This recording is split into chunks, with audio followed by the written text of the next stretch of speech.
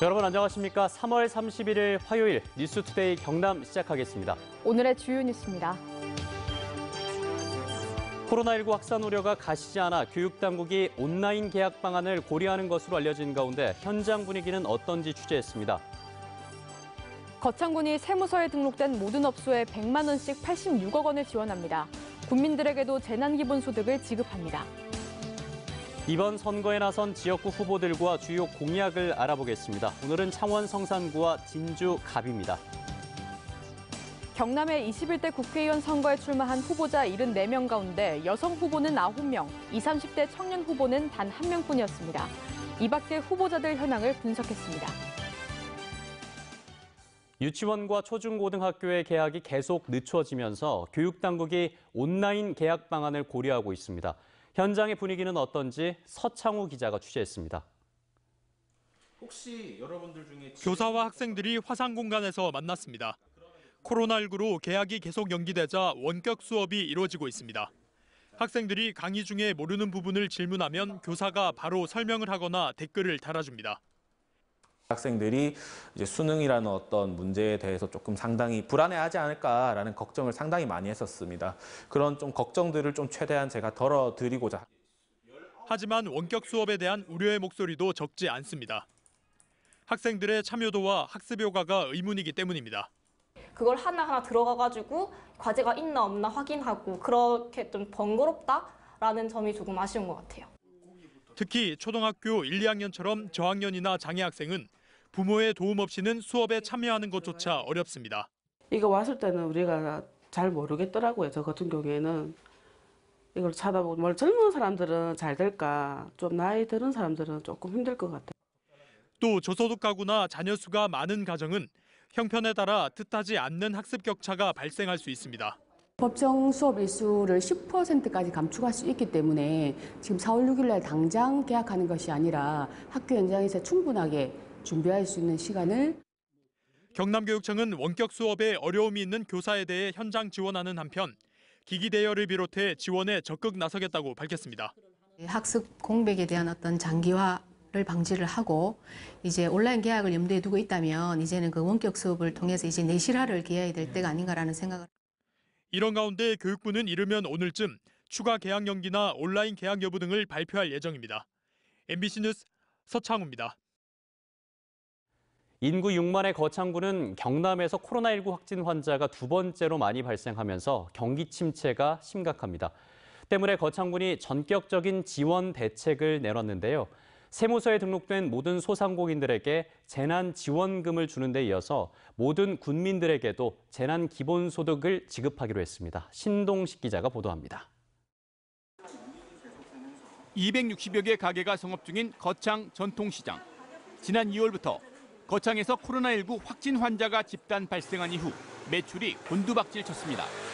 코로나 확산을 막기 위해 일정 기간 시장이 문을 닫았고 다시 문을 연 뒤에도 사람들의 발길이 줄었습니다. 2월 20일부터 저희 전통시장에도 매출이 작년 대비 그리고 올 1월 달 대비해가지고 거의 한 5분의 1 수준으로 완전 바닥으로 떨어졌습니다. 거창구는 코로나19로 직격탄을 맞은 소상공인에게 긴급 재난 지원금을 지원합니다. 전국 최초로 세무소에 등록된 8,585개 모든 업소에 100만 원씩 86억 원을 지급합니다. 또 중위소득 101% 이상 12,000세대의 국민들에게도 거창형 재난 기본소득 42억 원을 지원합니다. 소득이 높아 국가나 경남형 긴급 재난 지원에서 제외된 모든 국민이 혜택을 받게 된 겁니다. 재난 기본 소득 지원하는 데도 있고 소상공인 재난 지원하는 데도 있지만은 두 개 동시에 하는 거는 이번에 저희들이 현재까지는 우리 거창군이 처음으로 동시에 지원한다 하는 뜻이 되겠습니다. 거창군의 코로나19 확진 환자는 모두 19명으로 26명의 환자가 발생한 창원시에 이어 경남에서 두 번째로 많습니다. 거창군의 인구는 6만 명, 창원시의 104만 명과 비교하면 코로나 발생 충격이 클 수밖에 없습니다. 거창형 재난 국민 지원은 의회 심의 과정을 거쳐 빠르면 5월 초에 지급될 예정입니다. MBC 뉴스 신동식입니다.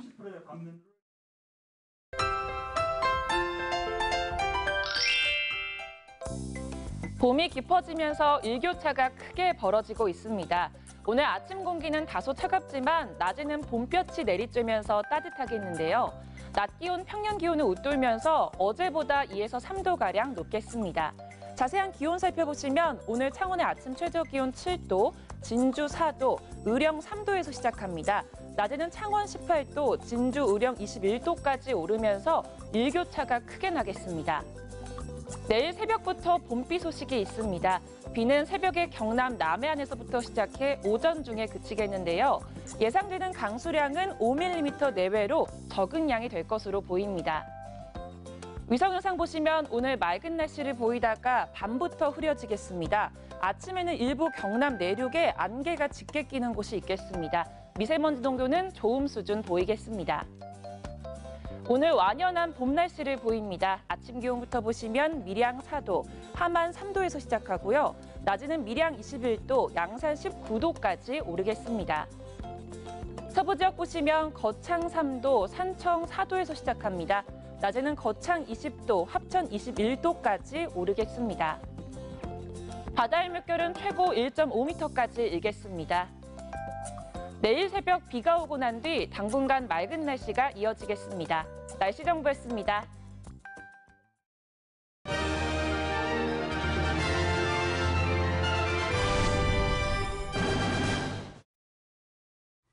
제21대 국회의원 선거를 앞두고 경남 지역구별 후보 공약을 살펴보겠습니다. 먼저 진보 정치 1번지로 불리는 창원 성산구와 정영훈 박대출 후보의 세 번째 맞대결에 정치 신인들이 도전장을 낸 진주 갑입니다. 신은정 서윤식 기자가 잇따라 보도합니다. 더불어민주당 이응석 후보는 진보 정치의 꿈을 힘있는 여당에서 실현하겠다며 출사표를 던졌습니다. 노동자로서 창원에서 수십 년간 노동운동했던 한 사람으로서 진보 정치 연장선상에서 그것을 하고자 저는 여기 출마했다 이렇게 보고요. 그 일에 제 모든 것을 재료연구소의 원승격과 노동사건 전문 법원 설립, 여성기업 지원 확대를 공약했습니다. 미래통합당 강기훈 후보는 문재인 정권 심판론과 경제 살리기에 중점을 두고 있습니다. 이번이 마지막이라는 생각으로 제가 내하고 자란 내 고향을 위해서 정말 힘을 다해서 그동안 경험해 있던 제 모든 노하우를 우리 고향 발전을 위해서 쏟아야 되겠다 하는 각오로 정부의 탈원전 정책 폐기와 창원 드론시티 조성, 글로벌 자율주행차 시범도시 구축을 약속했습니다. 민생당 구명회 후보는 상생과 조화의 정치를 하겠다는 결의를 다졌습니다. 서초동과 강화문의 편가르 기식의 정치 형태를 어, 이념의 개념을 넘어서 조화와 상생의 정치를 하기 위해서 창원대 의대 설립과 재료연구소의 원승격, 방위산업진흥원 창원 유치를 약속했습니다. 정의당 여영국 후보는 민주 진보개혁의 적임자로서 개혁을 이루겠다는 포부를 밝혔습니다. 공동체 가치를 지켜온 정치가 절실한 시기입니다. 반드시 당선되어서 위기에 닥친 우리 국민들의 우리 성상 구민들의 삶을 지키는데 예, 모든 역량을 쏟아붓겠다. 두산중공업의 공기업 전환과 코로나19 피해 직접 지원, 소재연구원 설치법 통과를 공약했습니다. 민중당 서경철 후보는 진보 정치의 대표주자로서 노동자 서민을 대변하겠다고 밝혔습니다. 누가 민족의 자주권을 대변할 것인가의 문제인 것인데 가장 급진적이고 가장 혁신적인 주장을 하는 것은 바로 민중당입니다. 노동자들의 근본적인 이해를 대변하는 정당이기 때문에 민중당이 반드시 투표. 노후 공동주택 공영개발, 두산중공업 공기업 전환, 방위분담금 인상 반대를 약속했습니다. 국가혁명 배당금당 조규필 후보는 돈 걱정하지 않는 나라를 실현하겠다고 밝혔습니다. 지금 우리나라가 엄청나게 발전했던 사실이지만은 분배에서 실패했다 저는 봅니다. 그래서 분배에서 그 잘못된 오류를 우리 국민 배당금으로 잘못된 오류를 잡고자 하는 겁니다. 국민 배당금 매달 지급과 코로나19 긴급 생계 지원금, 결혼 수당 지급을 약속했습니다. MBC 뉴스 신현정입니다. 더불어민주당 정영훈 후보는 복지와 산업이 조화된 인권도시 진주를 비전으로 제시했습니다. 우리가 합심해서 이 국가의 국난을 극복을 하고 또 더 큰 대한민국으로 도약하기 위해서 집권 여당 국회의원 정영훈을 선택해 주십시오. 남부 내륙철도 조기 착공과 조기 완공, 항공우주산업 조성과 연계한 진주 4천형 일자리 모델 추진을 공약했습니다. 미래통합당 박태출 후보는 문재인 정권 심판론과 진주발전 적임자론을 내세웠습니다. 힘 있는 삼선 의원이 되어서 경남 리드로 우뚝 서서 우리 진주 강소 특별시 그리고 진주 대도약을 위한 서부 경남 KTX 원안 사수와 진주 항공 특례시 지정을 통한 강서도시 도약을 약속했습니다. 민중당 김준영 후보는 적폐 청산을 완수하는 젊은 정치, 진보 대표 주자임을 강조했습니다. 한국 사회 적폐에 대한 청산 그리고 진보의 정책을 알리고 진주시에 서부경남 공공병원을 반드시 설립하겠다는 각오로 출마했습니다. 서부 경남 공공병원 진주 조기 신축, 친일 친미 청산과 도로 박근혜당 퇴출을 공약했습니다. 국가혁명배당금당 오필남 후보는 구국의 일념으로 총선에 도전장을 냈습니다. 이렇게 국민들이 민생의 고를 꺾을 적에 어, 내 하나의 몸으로 어쨌든 경제가 잘 돌아가고 나라를 살리기 위해서 이 한 목숨 바치면서 국회의원 수 100명으로 축소와 정당제도 단계적 폐지를 내세웠습니다. 무소속 최승재 후보는 지방 소멸을 막기 위해 연방제 수준의 자치법 개정을 강조했습니다. 제조업이 많이 들어와가지고 큰 회사가 들어와가지고 살 수 있다고 생각하지 않습니다. 그래서 저는 문화 역사가 진주의 밥이 되고 그다음에 어, 환경과 교통이 편안한 지방세 비중 50% 상향을 비롯해 국회의원 세비 70% 삭감 등 특권 대폭 축소를 공약했습니다. 무소속 김유근 후보는 보수의 가치를 되살리고 문재인 정권을 심판하겠다고 역설했습니다. 문재인 정권을 심판하고 새로운 정권을 만들어야 되는데 그렇다면 우리가 새로운 보수, old 보수로는 되지 않는다. 그래서 제가 새로운 보수, 젊은 보수로서 이번에 출사표를 감염병 발생 진원지 국가의 입국 금지법과 국회의원 동일 지역구 삼선 제한법 제정을 약속했습니다. MBC 뉴스 서윤식입니다.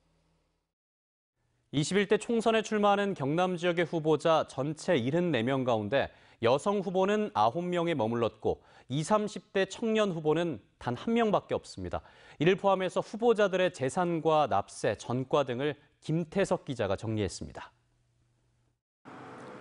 더불어민주당과 민주통합당의 16개 선거구 32명 후보자는 모두 남성입니다. 여성은 민생당, 정의당, 민중당에서 1명씩, 국가혁명배당금 당에서 6명으로 전국 평균 18.8%에 밑돌았습니다.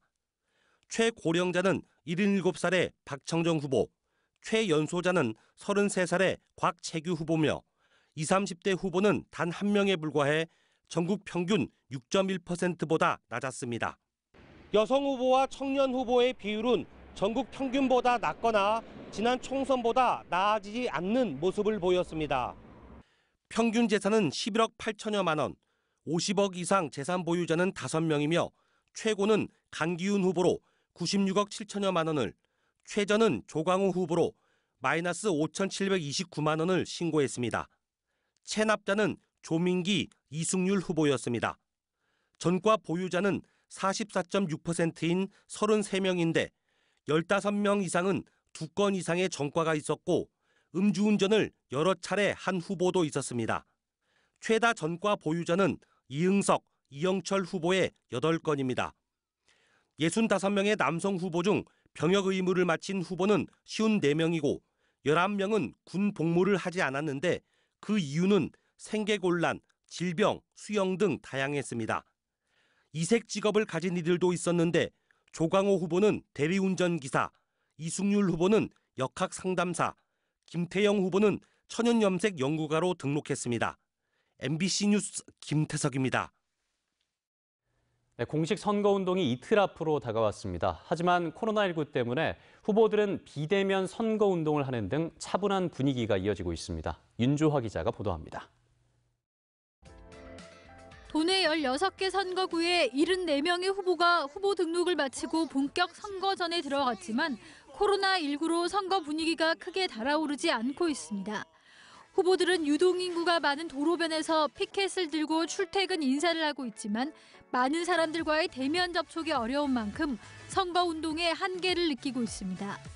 등산로나 공원 등 시민들을 만날 수 있는 야외 장소를 찾아 눈인사 정도의 선거 운동에 만족하고 있는데 이런 분위기는 공식 선거 운동 기간에도 이어질 걸로 예상됩니다.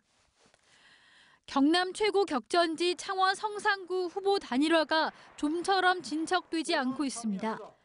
창원 성산에 출사표를 던진 노동계 출신 민주당 이흥석, 정의당 여영국, 민중당 서경철 후보는 단일화를 위한 물밑 접촉을 하고 있지만 이렇다 할 성과를 내지 못하는 것으로 전해졌습니다. 창원 성산구는 17대부터 20대 총선 중 19대 때를 제외하고 진보 진영이 승리했는데 보수 진영이 승리한 19대 때 진보 진영 단일화가 실패한 바 있습니다. 지난 20대 총선 때도 민주당과 정의당이 투표용지 인쇄 전날 단일화를 이룬 만큼 이번에도 막판까지 예측 불허라는 관측 속에 오는 주말이 단일화의 분수령이 될 전망입니다. MBC 뉴스 윤주화입니다.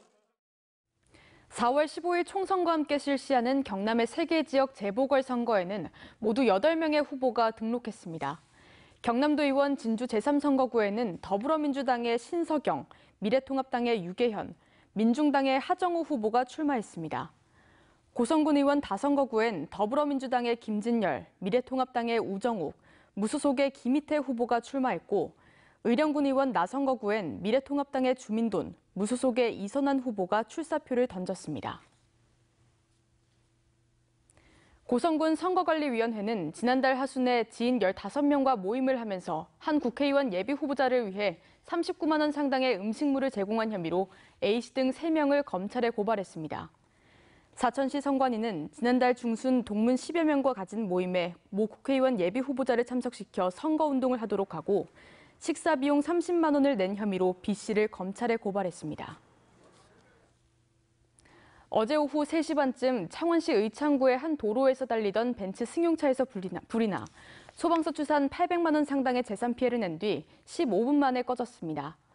경찰은 자동차 정비업소 직원이 차량을 점검하는 과정에서 운전하다 엔진룸에서 불이 난 것으로 보고 정확한 화재 원인을 조사하고 있습니다. 김해 지역에 최근 코로나19 해외 역감염 사례가 잇따라 발생하자 김해 시가 대책 마련에 나섰습니다. 김해 시는 증상 유무와 관계없이 해외 입국자 전원을 대상으로 코로나19 검사를 시행하고 자가 격리자가 격리 지역을 이탈하면 즉시 고발하기로 했습니다. 코로나19로 어려운 이웃들을 위해 고성군수가 한 달치 급여 전액과 석 달 급여 30%를 기탁합니다. 또 5급 이상 간부 공무원과 고성군 의원들도 급여와 수당 반납에 동참합니다. 김해 시도 과장급 이상 공무원들이 석 달 동안 60에서 150만 원, 밀양시는 5급 이상 공무원들이 20에서 50만 원을 기부하기로 했습니다. 경상남도는 코로나19 여파로 부품 수급 차질 등 어려움을 겪는 자동차 부품 산업에 지원을 확대합니다. 도는 도의회가 심의 중인 추가 경정 예산안에 12억 원을 추가 확보해 자동차 부품 제조와 공정 개선 지원 사업을 새로 추진하고 미래차 기술력 확보 등에 지원합니다. 뉴스투데이 경남 저희가 준비한 소식은 여기까지입니다. 함께해 주신 여러분 고맙습니다.